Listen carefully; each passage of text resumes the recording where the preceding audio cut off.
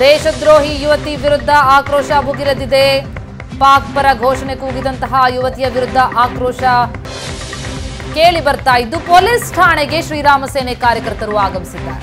SJ park ಠಾಣೆಗೆ ಕಾರ್ಯಕರ್ತರ ಆಗಮನ.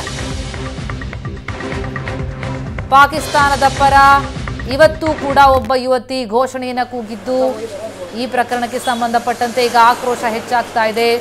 ಪೊಲೀಸ್ ಠಾಣೆಯ ಬಳಿಯಲ್ಲಿ ಶ್ರೀರಾಮ್ ಸೇನೆ ಕಾರ್ಯಕರ್ತರು ಕೂಡ ಆಗಮಿಸ್ತಾ ಇದ್ದಾರೆ. ಕೇವಲ ನಲವತ್ತೆಂಟು ಗಂಟೆಯ ಅವಧಿಯಲ್ಲಿ ಎರಡು ಪ್ರಕರಣ. ಪಾಕ್ ಪರ ಘೋಷಣೆಯನ್ನ ಕೂಗಿ ಈಗ ಆಕ್ರೋಶಕ್ಕೆ ಕಾರಣರಾಗಿದ್ದಾರೆ ಇಬ್ಬರು ಯುವತಿ.